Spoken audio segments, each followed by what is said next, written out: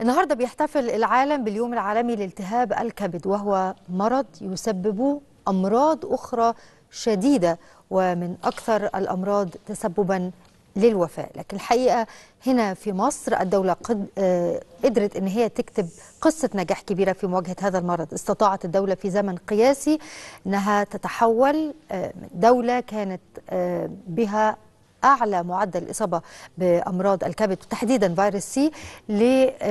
للإعلان من قبل منظمة الصحة العالمية العام الماضي أن مصر دولة خالية تماما من هذا المرض.